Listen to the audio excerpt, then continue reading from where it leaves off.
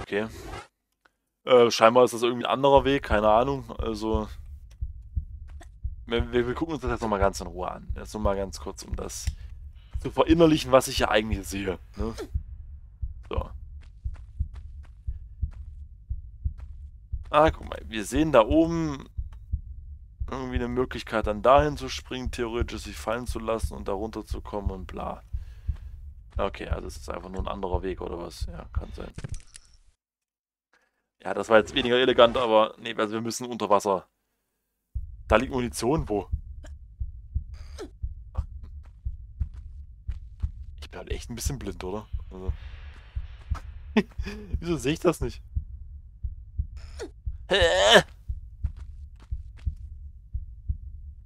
So, Lara, dein Popolchen ist im Weg. Ich sehe nichts. So, das nochmal. Ähm. Na, warte, ich speichere lieber. Ich habe keinen Bock jetzt hier da aufgespießt zu werden. Dann gibt es wieder Lara Schaschlik-Spieße. Ja, also bei manchen Spielen funktioniert das, dass man da wirklich zwischen den Stacheln landet, aber bei manchen Tomb Raider-Teilen auch nicht. Da kannst du irgendwie landen, wie du willst, dann wirst du aufgespießt und dann war's das.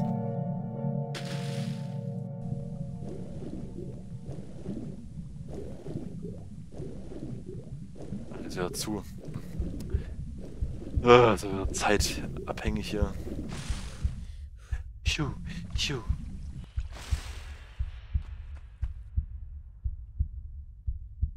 So, wo war das jetzt? Hier hinten, ne? Dann ist doch ein Sekret, ja. Da muss ich dann doch schon mal. So.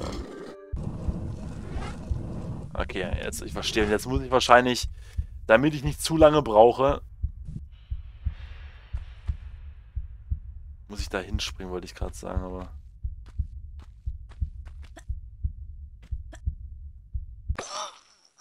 Ja, aber das muss schon so sein. Also ich muss da irgendwie... Irgendwie muss ich da springen.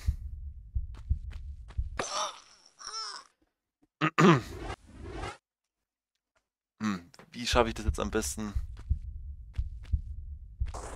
So schaffe ich das am besten. Yes, oh baby. Baby, baby, baby. Das war doch hier. Fantastisch. Das war jetzt schon wieder so ein richtiger Sabato-Move hier. Perfekt. So, jetzt hier. Give me the secrets, ne? Please. Das habe ich mir jetzt verdient. So, wir haben einmal Munition. Wir haben einmal Munition. Ja, Lecco Mio. Gut, da können wir wieder zurückschwimmen. Die eine Tür, durch die wir jetzt ja durch müssen, die war ja irgendwie im Hauptraum. Oder zumindest hier. Wow, der ganze Aufwand für ein bisschen Munition. Das war ja ein Traum. Ah, da findet man die Magnum, wenn man sie vorher noch nicht gefunden hatte. Ja gut. Das hat sich ja bei mir erübrigt. Ich habe ja eigentlich alles, ne? Ja gut, dann hätte es sich ja gelohnt. Dann ist ja okay. Gut. Dann werde ich mein Statement mal ganz vorsichtig zurückziehen. wie, äh, Junon, wie bewertest du denn Unfinished Business? Gefällt dir? Findest du es eine sinnvolle Erweiterung? Findest du, ja, ist nett, aber braucht man nicht? Einfach mal so deine Meinung zu dem Thema würde mich mal interessieren.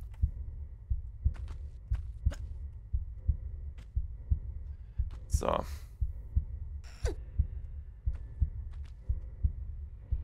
Da hinten geht es irgendwie weiter, glaube ich.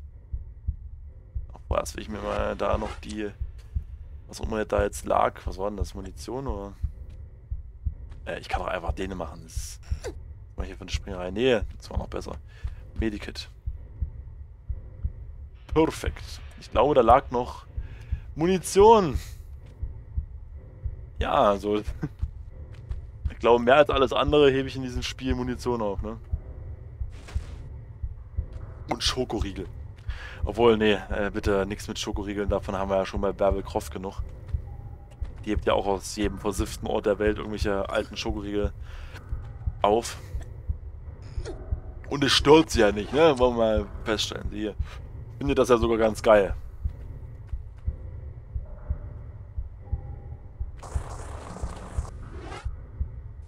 Aber übrigens, Julian, ich habe wir haben ja in, in vorletzten Stream, oder was letzter Stream, haben wir, wir irgendwie auf das Thema Asterix und Obelix gekommen. Neuen Filme. Ich habe sie tatsächlich gesehen. Äh, ich habe sie tatsächlich gesehen. Und ich muss sagen, also so als Kinderfilm ist der nett, so, ne?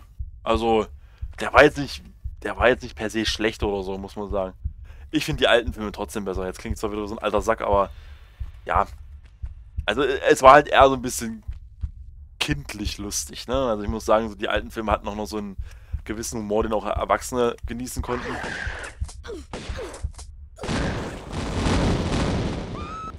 Wow, das war elegant hier. Ich finde der Erweiterung klasse. Sie haben mir extrem viel Spaß gemacht. Hatte sie ja auch jetzt erst letztens selber durchgespielt. Ja, nö, die machen auch super viel Spaß. Also muss ich jetzt mal auch so direkt sagen. Gefallen tun sie mir schon. Meine, ist ja auch, ist ja auch eine coole Sache, dass man da nochmal ein paar Level hinterher wirft, ne?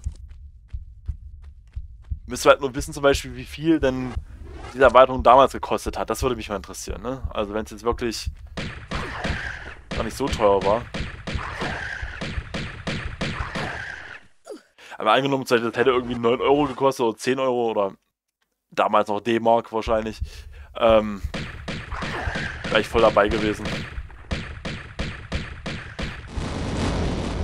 Für 10 Euro, 10 D-Mark, wie auch immer. Ah, komm.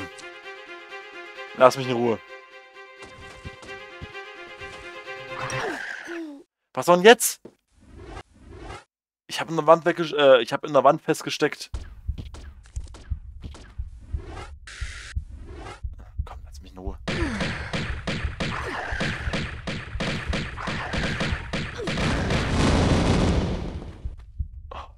Sich das jetzt wirklich gelohnt? Warte, warte jetzt mal, komm was. Kills, 28 von 31, aber das ist ein gutes Zeichen. Das heißt, wir sind ja fast durch, ne? Mit dem Level zumindest. Die Erweiterung gab es nur in der Premiere Edition. Die kam, glaube ich, 90 D-Mark oder so als Normalpreis zu der Zeit. Die Erweiterung gab es nie einzeln zu kaufen. Okay. Oh, na dann. Ist es ja nochmal was anderes hier. Da kann ich mir schon vorstellen, dass das extrem rar ist, ne? Sorry, ich dachte, ich kann einfach drauflaufen. War nicht der Fall. Das... Ja, krass. das ist sehr krass.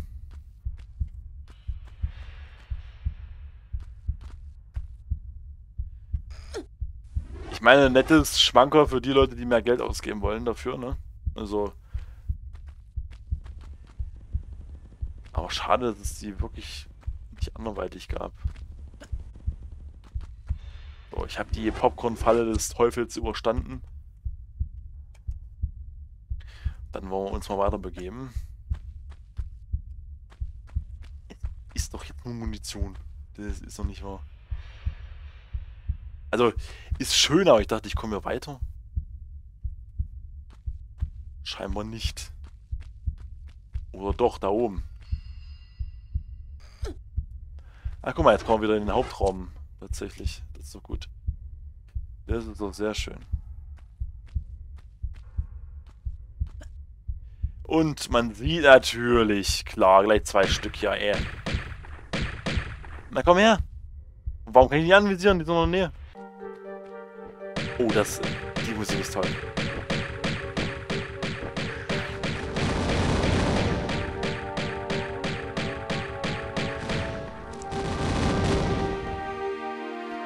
Oh, schön, ey. Ist, können wir einfach mal appreciaten, wie gut die Tomb Raider Musik ist. Also, es ist fantastisch.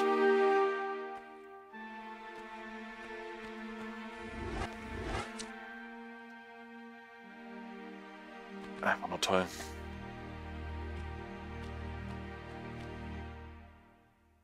Obwohl ich ja sagen muss, ich persönlich mein Lieblingsstück ist und bleibt ja, ist und bleibt äh, Venice Violence, ne? Also das ist einfach nur richtig fantastisch. Nein! Nein! Okay, das Level läuft also auf sowas hinaus. Jetzt Achtung, ich weiß ganz genau, was ich machen muss. Geronimo! Also, habe ich anders geplant, aber... Äh, okay, ich laufe den ganzen Weg, um da reinzukommen. Das ist ja interessant. Yippie! Oh, krass! Oh, krass, jetzt sind wir da durchgeflutscht. Das ist ja mal ein richtig geiler Sprung. Den will ich nochmal sehen. Der war geil. Das war jetzt echt belohnt. Das war jetzt echt belohnt, das will ich nochmal sehen. Yippie! Ja gut, ich muss noch richtig anschauen. Ich schaffe das nochmal. Zum Thema Asterix, klar, sind die alten Filme besser. Wir sind damit aufgewachsen, aber ich fand sie persönlich ganz amüsant. Ja, und nett, sie sind nicht so schlecht, wie viele sagen. Und äh, für Kinder besser geeignet als andere Filme, die für Kinder sein sollen. Ja, das stimmt. Also, will ich jetzt auch nicht leugnen. Ich, ich, ich greife noch das Loch. Also irgendwie wird das noch funktionieren. Ja, ich weiß auch nicht. Irgendwie gerade bin ich nicht sehr zielsicher. Also ich fand es ja auch sehr unterhaltsam, so ist es ja nicht, ne? Also... Ah, ich glaube, mein Favorit wird... Mein Favorit ist und bleibt einfach Asterix ja erobert Rom oder was, oder gegen Caesar. Mit den Prüfungen, das war einfach nur feinste Sahne. So, jetzt hier, Achtung, oh, ist das nicht, ist das nicht der Hammer? Das ist so geil. Ja, das war so der, einer der spaßigsten Sprünge, die ich jemals bei Tomb Raider hatte. Haha, geil. Schön. Und die Musik dazu, ja, ja.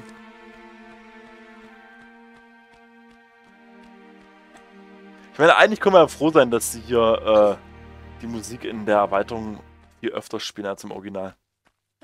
Ich muss auch sagen, die Musik ist einfach nur schön. Ich meine, das ist immer das Schöne, so Tomb Raider hat, hat wirklich fantastische Musik und auch noch tollen Ambient-Sound, ne?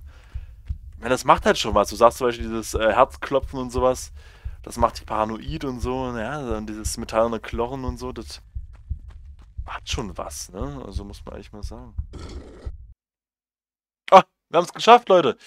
Atlantean Stronghold, 30 von 31, ich habe sogar einen am Leben gelassen, so nett bin ich. Aber Pickups haben wir 60 von 63 und wir haben beide Sekrete gefunden. Was ist denn da los? Mal sehen, was jetzt für eine verrückte Scheiße kommt hier. ich bin gespannt. So, was haben wir denn jetzt Feines? Wir haben... The Hive, oh, ja. Die Brutstätte sozusagen hier. Das Nest. Der Stock, je nachdem. 41 Kills haben wir vor uns. Na, dann wollen wir mal. Ich rüste mich schon mal aus. Oh. Was sehen meine Augen dort hinten? Meine müden Augen. Kennen wir das nicht von Escape from Dragon's Lair? Ist das nicht dieses wunderschöne... Ja, oh Gott, sogar mit einem Schachbrett. Es ist, oh. es ist genau das. Ich weine.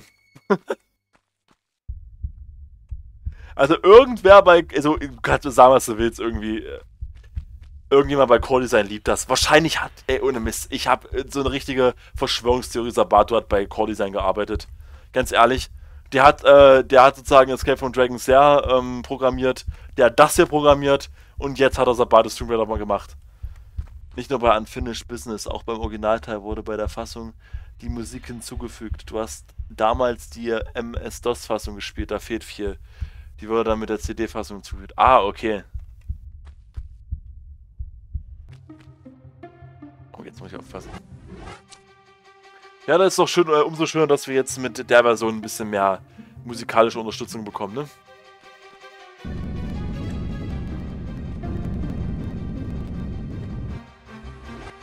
Oh, Mensch, immer dieser... Oh. Immer diese Schachbretträtsel.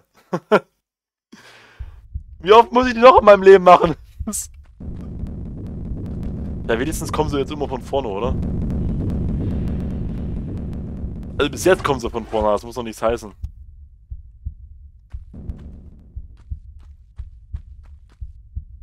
So. Habe ich alles abgearbeitet?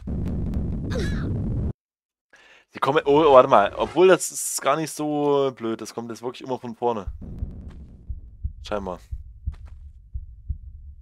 Und die Verschwörungstheorie mit Sabato hatte ich auch mal im Kopf. Er hat schon irgendwas, findest du nicht? Also irgendwie. Also es ist ja irgendwie auffällig, dass genau dieses Rätsel hier wirklich in jedem Tomb Raider Teil auftaucht, der potenziell mit Sabato in Verbindung stehen könnte. Wer weiß, also kann das sein?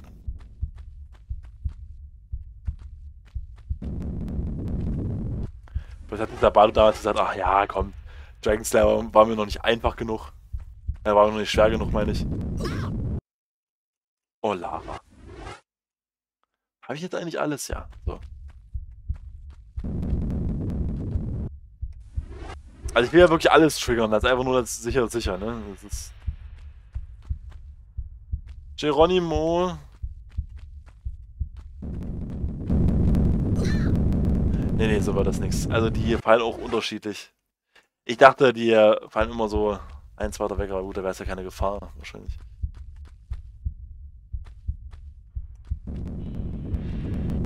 Ja, klar. Weißt du, das ist wieder so mein, äh, meine Intuition. Ich, äh, natürlich mache ich einen Rückwärtsschritt genau dahin, wo die Gefahr ist.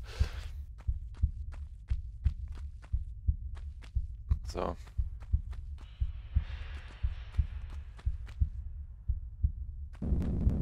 Bleib stehen. So. Es ist wirklich, äh, es ist... Ha! Mir kann nichts passieren, sagte er und wurde überrollt. Ja, ich habe leider keinen Rundumblick. Schön wär's ja, ne? So, und jetzt... Ja, komm, das, da, ich weiß nicht, Sabato, ne? Ich habe dein Geheimnis durchschaut. Du kannst ruhig Sabato 1 bis 20 machen, ist alles okay, aber ich weiß Bescheid, ja. Du warst ein Mitarbeiter.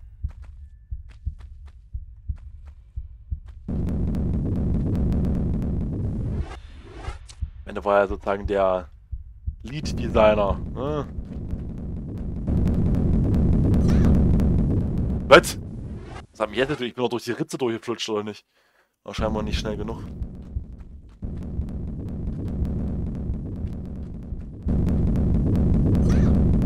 Ah, das sind zwei auf einmal. Hm. Ah. Ja, muss ich sagen, es gehört nicht zu meinen Lieblingsrätsel. Habe ich jetzt schon bei The Battle Tomb Raider jetzt nicht so gefeiert. Oh, ich dachte, ich überlebe. Ich dachte, ich überlebe. Na, scheinbar nicht. Warte mal, wie muss ich das machen? Ich, ich muss das nochmal angucken. Von wo fallen die Steine jetzt? Ach nee, warte mal. Die, da kommen drei Steine auf einmal. Ach du Scheiße. Das ist natürlich jetzt hier voll Mobbing.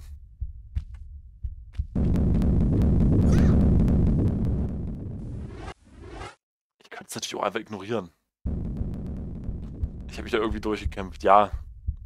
Könnte ich auch machen, ne? Ja, gut. Ich, ich mache noch ein bisschen so schwer. So, Nummer 1. So, ne? Ich wollte einfach nur das Rätsel so machen, wie es eigentlich intendiert war. Stirbst du mal? Hier kann mir ja nichts passieren. Also, so. So viel zum Thema Durchkämpfen, ne? Ich wollte wirklich so, ich wollte wirklich Kachel für Kachel das machen, aber gut. Wenn das Spiel das so, für, so von mir möchte. Eh!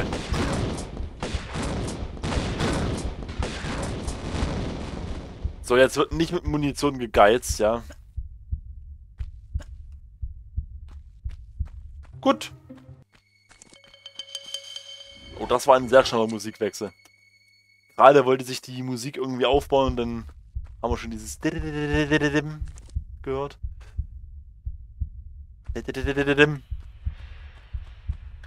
Tja, holen wir uns zuerst lang. Gekachelte Raum. Oh, jetzt beides gekachelte Räume. Ich mal hier lang. Ich folge mal der Fleischwand. Schöne Innendekoration. Tine Wittler war stolz, ja. War schon sehr stylischer Wandstreifen hier, ne? Muss man ehrlich mal sagen. Hat schon was sehr Dekoratives.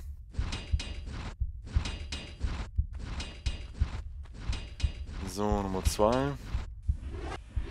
Ja, das sieht doch schon mal alles fantastisch aus. So lässt sich leben, ja, ne?